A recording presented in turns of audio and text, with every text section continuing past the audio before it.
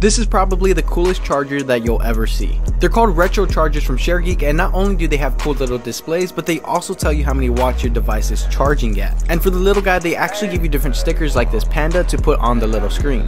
And if you haven't noticed it yet, the design